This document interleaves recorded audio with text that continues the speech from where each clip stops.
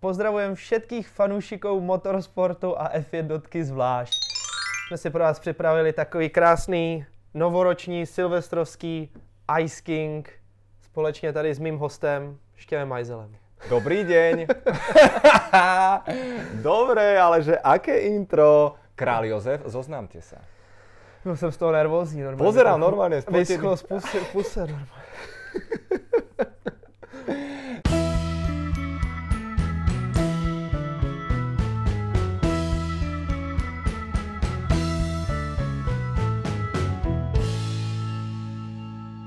Dámy a páni, je tu špeciálny diel, záverečný v tomto roku. Mimochodom, kvízová otázka.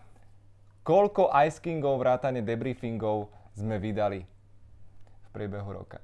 Jsme to měli strašně nasekaný a je to fakt krásný číslo. Hlavně je to celý číslo. Zkuste to spočítat a napište nám to do komentářů, schválně, jestli to dopočítáte. Čože je to? Uh, ja som tomu to číslu... říct? 50, Sakra, 50 no dielov, to sú hodiny a hodiny.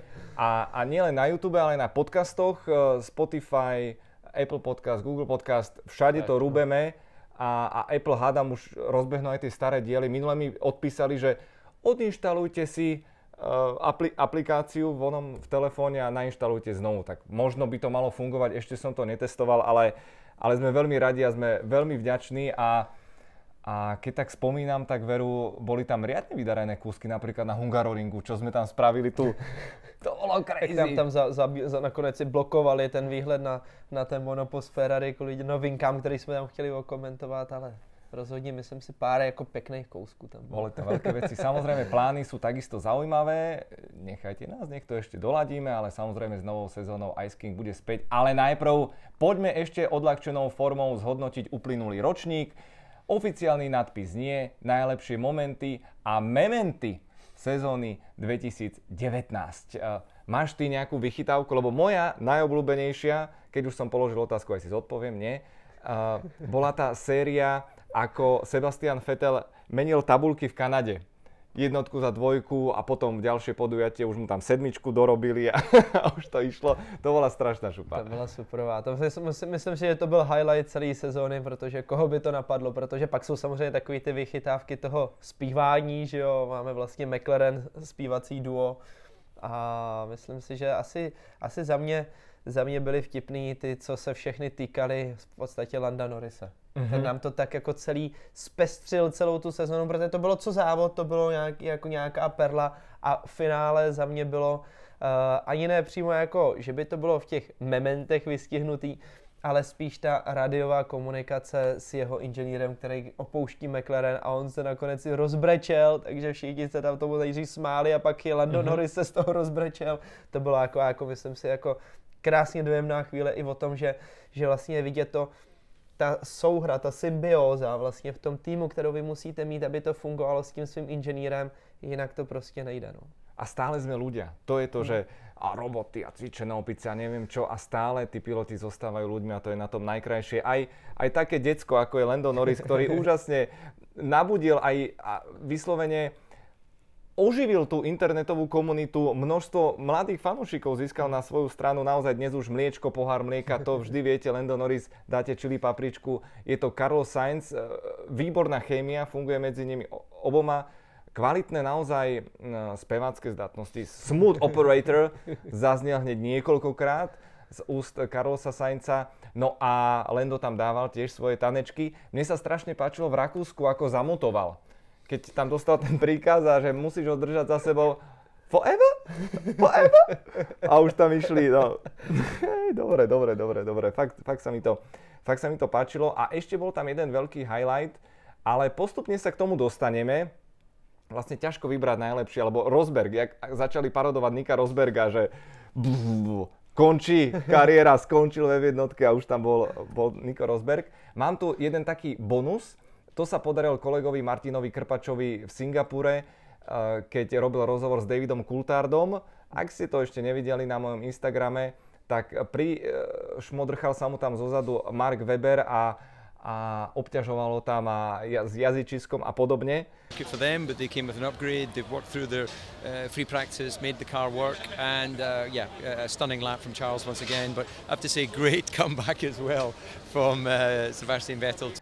Uh, nechcem otvárať túto tému, však nájdete si na Google Mark Webber Vive a, a tak ďalej. No, uh, čo som to chcel?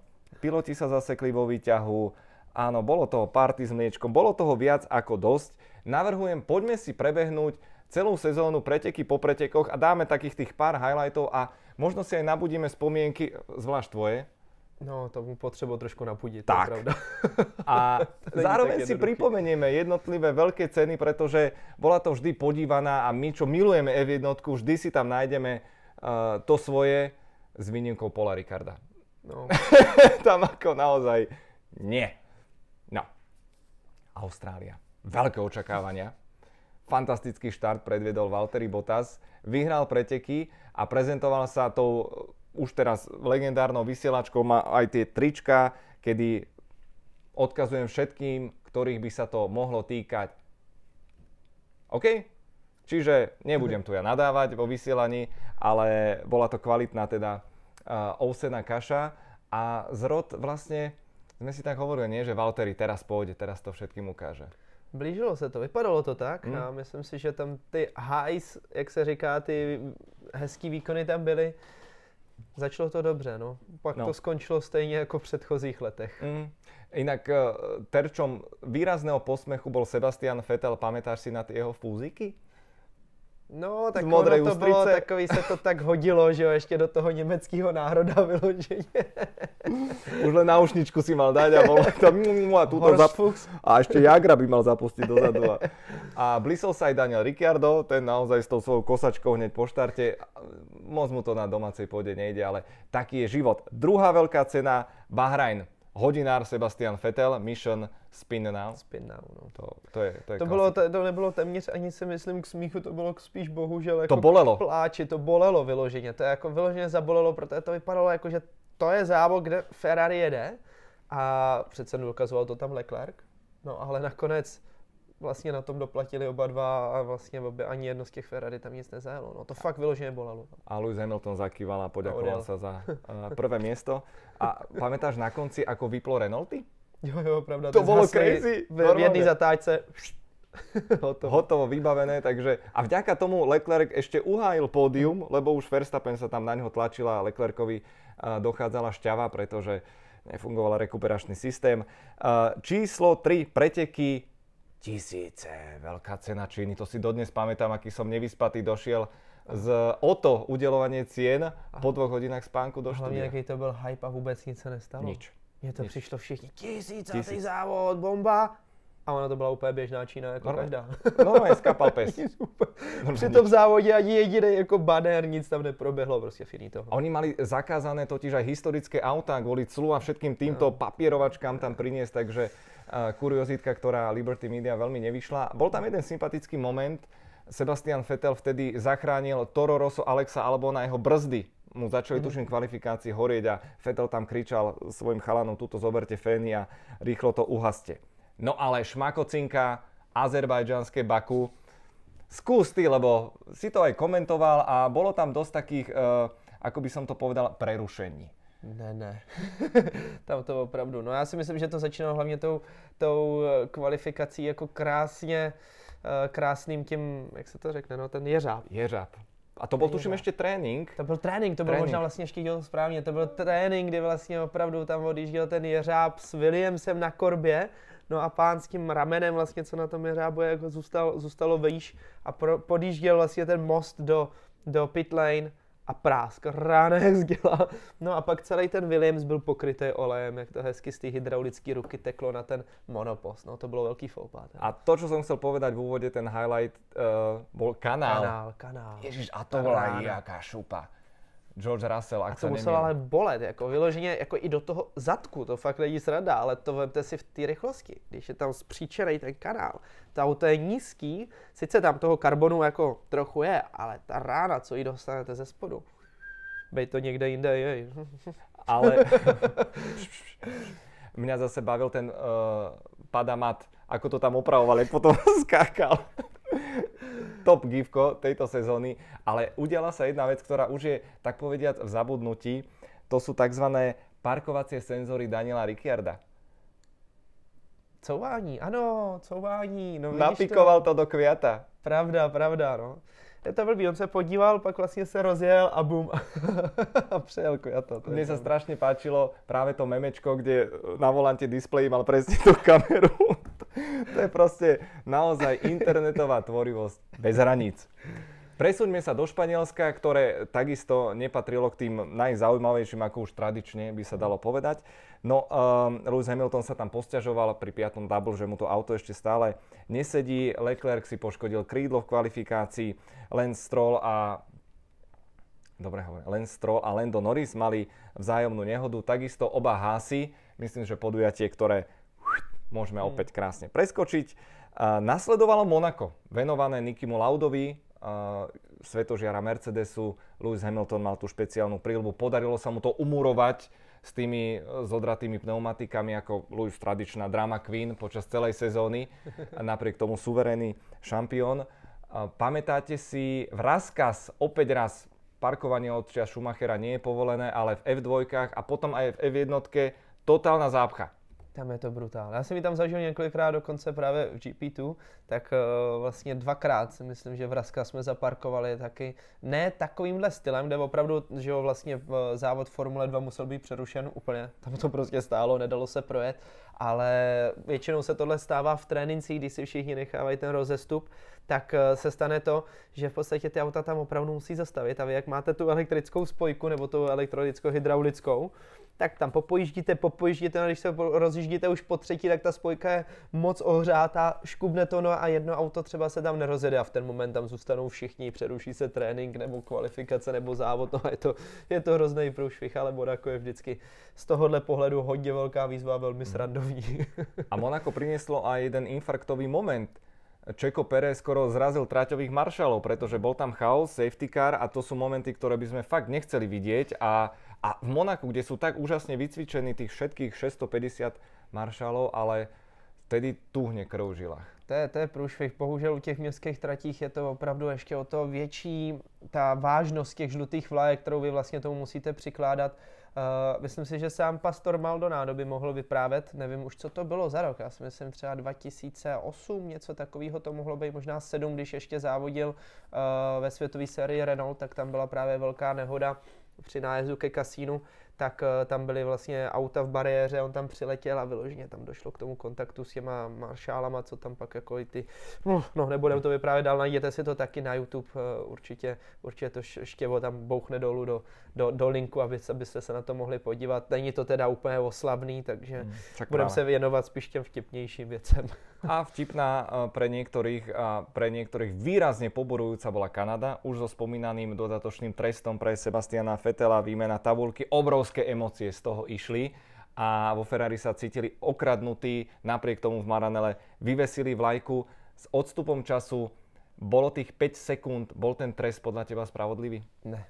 Já si to myslím nadále, že ne, že opravdu uh, to bylo něco, kde já bych netrestal a Paradox je to, že vlastně potom celá ta sezóna se nám vyvinula tím směrem, že vlastně už takovýhle trest nebyl, byli tam napomenutí, černobílá vlajka se začala na základě toho používat, ale jediný, kdo na tom byl bitej, tak vlastně bylo, bylo Ferrari a Sebastian Vettel. Tam si myslím, že to opravdu nebylo adekvátní a s odstupem času o to víc si myslím, že to musí bolet, ať už Sebastiana Vettela nebo všechny fanoušky Ferrari nebo Ferrari samotný.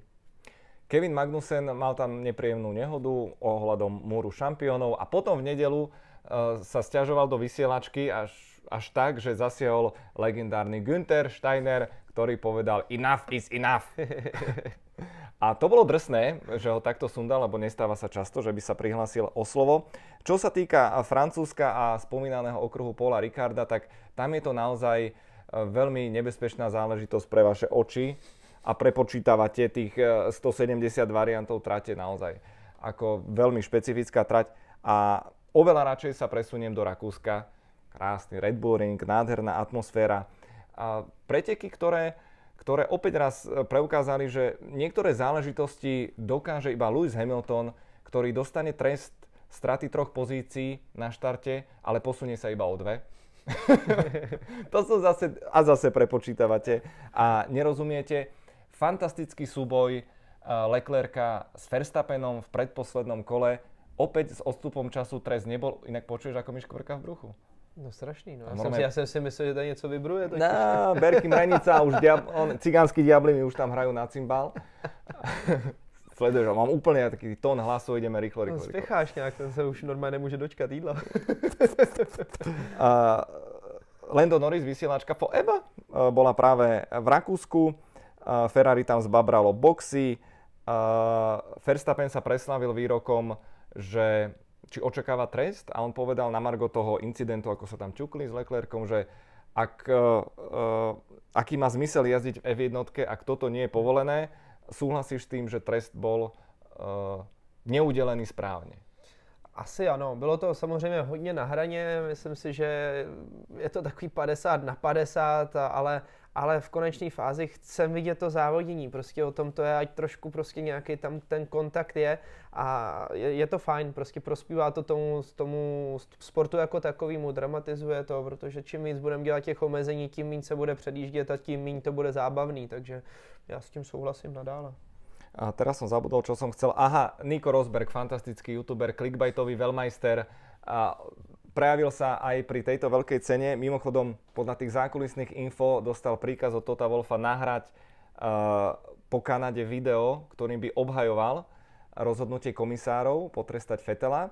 A celkom po ňom išiel, ako po udenom celú sezónu. A zaujímavé bolo v tom Rakúsku, že po pretekoch, keď urobil Rosberg video, tak povedal, no tak tu nie je čo riešiť, samozrejme Verstappen musí dostať trest 5 sekúnd, samozrejme. A keď komisári rozhodli, že nebude trest, tak Niko zase dal fantastické rozhodnutie komisárov, že podporujú pretekársky šport. To je presne to, čo chceme vidieť. Takže Niko, ideš samozrejme za kliky a lajky aj do kolena vrtať. Veľká Británia bola opäť veľká šovka, nie tak z pozície Fetela, ktorý torpédoval Maxa Verstappena. Tam to byla opravdu škoda, chyba. Myslím si, tam vyloženě Sebastian Vettel udělal chybu a Docela mě překvapilo, že si toho nebyl vědom. Přišlo mi tak ze začátku, že byl naštvaný, jako ono bylo vidět, že tam Verstappen trošičku plaval před ním, jak se říká. Trošku ho zavřel, ale, ale vyloženě tam myslím si, že nebylo vůbec, vůbec o čem, že opravdu Sebastian Vettel se střelil. No ale stane se, mistr Tesař si někdy utne. A oprav Maxa, milím, ale ten prvotný inštinkt váš jazdcov je samozrejme ten klasický prepáč, ale bola to tvoja chyba. No samozřejmě. Nebo Ericssonova, že? Alebo Ericssonova. Ten vykúkal viackrát. Inak v Rakúsku vo Vyťahu sme sa stretli s Ericssonom. Hovorím si, že no, idem hore, idem hore, ale pritom sme išli dole. No ale to je iný príbeh. A... To tak většinou s ním bývá, ale... Chcel by som vidieť, ak si ho rozplakal, to muselo byť fakt vtipné. Jo, no. tak mě to tak zahrálo teda. Aha. Ale ty máš dobrý Ale... sveter, zase vieš. No to taky hřeje tady, tyjo, ty svetla. Red Bull sa blísol vo Veľkej Británii aj lakovaním v štýle Jamesa Bonda 007, ale bol zostrelený James Bond uh, spomínaným Sebastianom Fetelom. Blísli sa aj piloti Haasu, ktorí si priniesli tie ríle a vystrelili sa Günther Steiner finito capito, ale dotkneme sa mega pozitívnej veci, ktorá predchádzala um, tomu torpedovaniu a to boli krásne súboje a odveta Leclerc versus Verstappen. To bylo pěkný, to bylo moc pěkný, tam opravdu bojovali kolo na kolo, hezky tam projížděli ty zatáčky a nebylo to nic nečestného, i když teda v jeden moment se tam Max dostal úplně mimo trať a vrátil se potom před, před Leclerc, jak to bylo dost na hraně, to předjetí, no ale, ale to byly hezký souboje, rozhodně. Na to, že to bylo na Silverstone, kde většinou to je jedna zatáčka a, a, a konec, tak tady tentokrát jako to byly pokračující závody, které byly moc pěkný. Hockenheim Ring v Nemecku opäť ponúkol po roku epické preteky. Uh, vyštafíroval sa Mercedes uh, špeciálnym lakovaním. Martin Trenkler veľmi trefne povedal, že vyzerá to ako keby uh, ho osral Albatros. ale ale áno. Ale áno. Ale áno. Úplne. Martin má bystré oko a podrezaný jazyk, to sa mi páči. Asi ho niekde fotil už, ne? Je to, myslíš toho Albatrosa? No, no, no. Jasne. No, National, Ge- National Geographic uvádí. A páčili sa mi tie outfity, ale nakoniec e, z veľkej žúrky bola veľká blamáž v prípade Mercedesu, ale tie preteky boli fantastické. Na pódiu sme mali okrem víťazného Verstappena aj e, Fetela a Daniela Kviata, takže to, to boli naozaj preteky, na ktoré sa nezabúda, ktoré si pozriem v repríze a teším sa na Netflix. Aj keď teda Hamilton sa tváril, že kvôli soplíku nechce, aby ho tam ukazovali, ale pevne verím, že ho nakoniec prehovorili a, a toto bude jeden z najhitovejších dielov. Domáca veľká cena pre nás a vo väčšine prípadov aj pre vás na Hungaroringu. Dodnes spomínam tú energiu od fanúšikov, to je vždy radosť. Ja sa tak teším, proste Hungaroring. To je to perfektní. Tam je hlavně super, že opravdu tam můžeme být po celou dobu nasávat, ať už tu atmosféru od vás, nebo potom přímo z toho nasávat. pedoku mm-hmm. nasávat. No tak nasáváme všechno, že co tam je, jak do. A... je to voda. Nie vodka, voda. No a užíváme si to tam, tam je to opravdu fajn a hlavně tam člověk zase jako nazbírá nové informace, které vám můžeme zase nějakým způsobem předávat. Určitě se podívejte, pokud jste neviděli a celý ten Ice King, který jsme tam natočili, tam je spousta věcí, ke kterým jsme se dostali, které vysvětlují i spoustu věcí, které potom člověk si v té rychlosti těch jednotlivých závodů nedokáže ani pořádně uvědomit nebo je třeba přesně, přesně popsat, tak ať už to jsou pitstopy, ať už to jsou takový ty drobnosti, detaily na těch autech, volant uh, Louise Hamiltona, jestli se nepletu, byl to Luizův, tak, uh, tak to byly opravdu věci, ke kterým jsme se tam dostali a plus samozřejmě vy. No a samotné preteky, jedna z najlepších, z môjho pohľadu najhodnotnejších jazd Louisa Hamiltona v ročníku, kedy riskli to v Mercedese, zmenili stratégiu a v priebehu 21 kôl pred koncom zrazu tam Hamilton prišiel, Red Bull nemal šancu zareagovať, Hamilton to stiahol, obehol Maxa Verstappena na mŕtvych pneumatikách. Fakt, že to byla topka. To bylo super, to bylo krásný, hlavně zase opět to potvrzuje to skvělé plánování, které měli, že jim to přesně vyšlo. Myslím si, že u Red Bullu oni museli riskovat, udělat to prostě fakt jakoby jinak, natáhnout to a byla to nějaká jejich jediná možnost. A pak na to zareagoval Mercedes překvapivě tím, že riskovali, protože tam opravdu to bylo no, muselo to být hodně odvážný rozhodnutí, ale vyšlo jim. Takže krásná jízda v podání, v podání právě Luisa Hamiltona Mercedesu.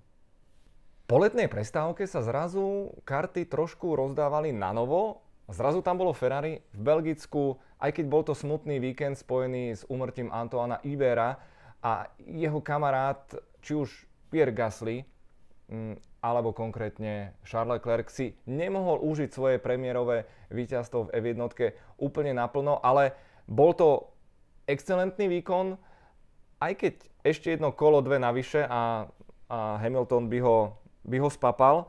Uh, takisto veľmi pekný výkon a debut v Red Bulle Alex Albon, ktorý v poslednom kole cez ten trávnik ešte predbehol uh, Čeka Pereza. No a Meme Lord sa prihlásil o slovo, Lando Norris ako chudák vypadol v predposlednom kole, tuším bol na štvrtom mieste. Uh-huh. To, bolo, to bolo bolestivé. Presunuli sme sa do Monzy, ktorá naozaj tento rok žila a hýrila červenou farbou ešte výraznejšie, pretože Charles Leclerc, alebo Charles Leclerc, alebo ako sa to vyslovuje, krásne memečko k tomu uh, vzniklo, ten si podmanil tifózy, uh, ale spomínáš na tú kvalifikáciu?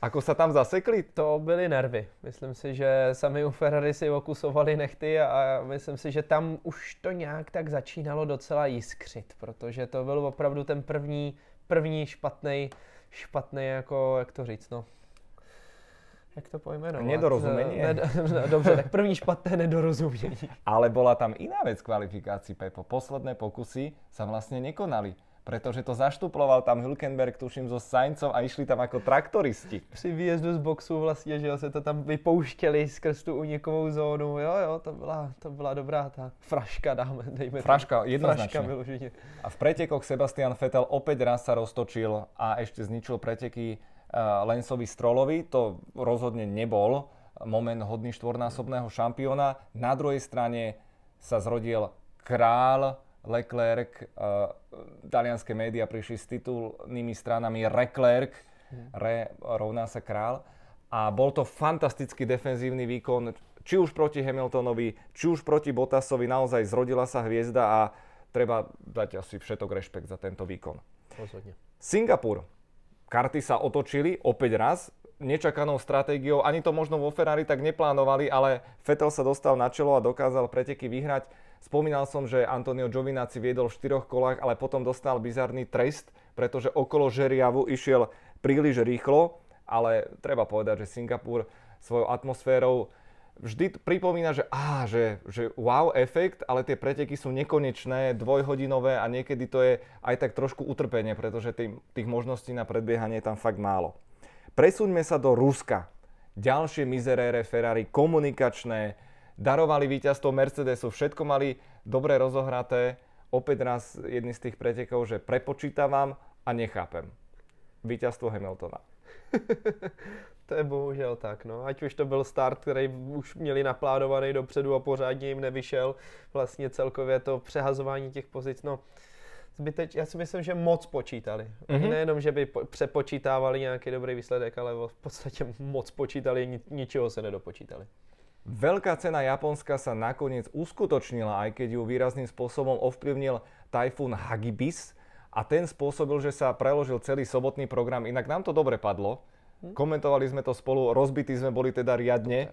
Ten piatok bol ťažký a kvalifikácia presunutá na nedelu do obeda. Hneď tam boli dve ťažké nehody v úvode samotné preteky veterné, diali sa tam veci, opäť e, v hlavnej úlohe jednak Leclerc aj Vettel so svojím zbabraným štartom, ale Leclerc e, najprv kolidoval s Verstappenom, priznal si chybu, potom mu e, držal si tam späťák a jednou rukou cez 130R, potom mu odletel, skoro skolil Louisa Hamiltona, nesmierne nebezpečný moment a ešte to završil vlastne Racing Point, ktorý dal protest proti Renaultom. Čiže Eh, podujatie celkom výrazné. Eh, Mercedes potvrdil konštruktérsky titul a tam opäť raz sme mohli dať len klobúky dole a uznať, že tak kto umí, ten umí.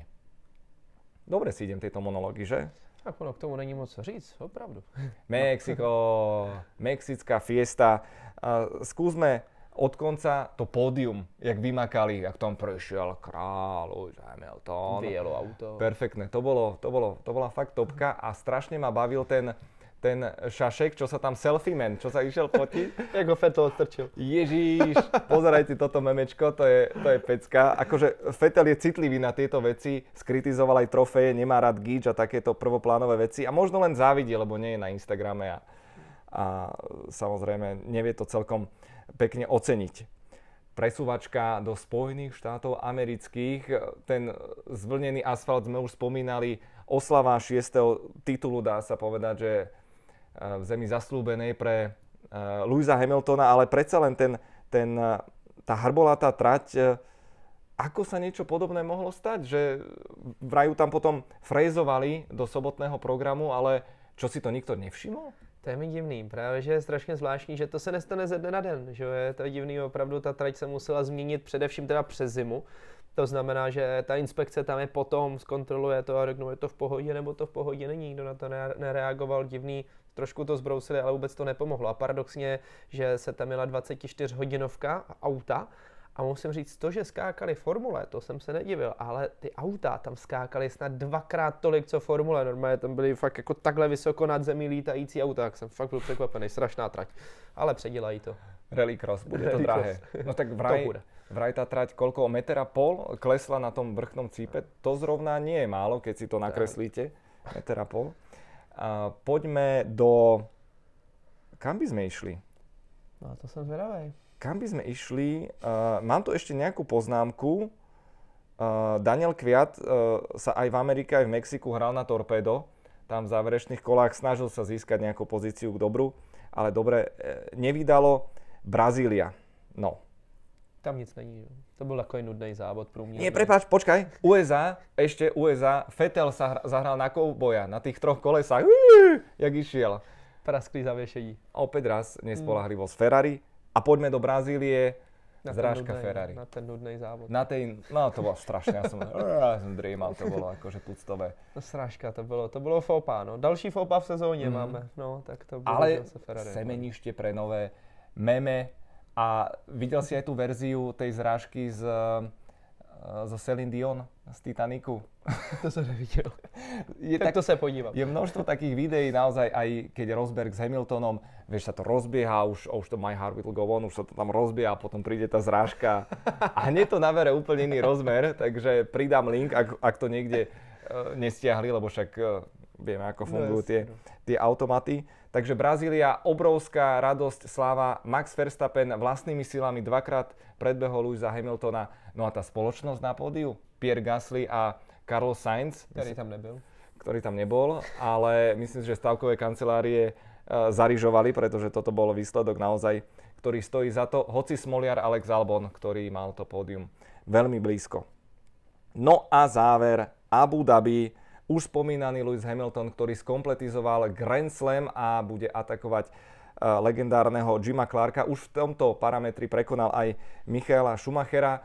Čo povedať k Abu Dhabi, okrem tej brutálnej žúrky, ktorú som tam zažil priamo počas kvalifikácie? To je vždycky highlight ako Abu Dhabi. Z akého, z, uh, akého smeru? No ne, no právě ty žurky, jako ty party tam jsou highlightem právě Abu Dhabi, protože ten závod, no co si budem, že jo, nalhávat tam to není úplne tak dobrý. No. Priatelia, strašne vám ďakujeme za vašu priazeň a energiu. To, to je najlepšia nabíjačka na tie baterky, lebo niektoré veľké ceny, najmä tie nočné, tá Čína, Japonsko, to boli. To bolelo a, a Pepa v spácach už chrúbka na zubára, jak si tam, akože dobre, zasmial som sa, bolo to fajn. A okrem toho, deje sa kopa veci, o ktorých neviete, my nechceme, aby ste vedeli, lebo je to zbytočné, lebo sme profíci, často nás e, kvári nejaká choroba, oko som mal zapálené, proste veci sa dejú, je to život, ale Formula 1 je naša láska a nechceme vynechať jedinú minútu. Napriek tomu mám tu pár uh, vašich hlodov a vašich postrehov z Instagramu a hneď tento úvodný, uh, pozrám sa na neho s úsmevom, uh, kif.jpg, Chtelo by to kompilácii smrkání. To byly trošku slabší chvíle. To Kamoško. To, to ja... jsem bojoval, ale to jsem fakt bojoval. To bolo fakt akože špatné a to smrkanie bolo tak hlasné, že som to musel povystriávať. A možno si nájdem ten čas, ale to ohluchnete a, a to bolo mi ťa dosť ľúto, pretože to si bol fakt, že chorý a nechcem povedať, uh, že čo. Tak je dobrý, že ste mi aspoň něco rozuměli, teda snad ste rozuměli, no, nebylo to úplně easy. A ad.p Eh, postrehy smutné a zároveň komické bolo pre mňa premiesňovanie ceduliek fetelom v Kanade, to som spomínal. Eh, Electric Man 37 a viacerí z vás oceňovali a takisto Gulík 323, Lando Nori za mňa túto sezónu neskutočná maska, tento chlapec. Mement sú všechna Lendovi vysílačky. King Tommy 16 ocenil Hamilton v Maďarsku, úžasná jazda, tiež s hmm. podporou týmu. Ja som Tomáš to isté, Hungaroring, keď Lewis išiel párkol pred koncom do boxov a obehol Maxa, ale aj z inej strany sa dá pozrieť na Louisa Hamiltona. Juraj Cvenček rozhodne Bono, my tires are gone.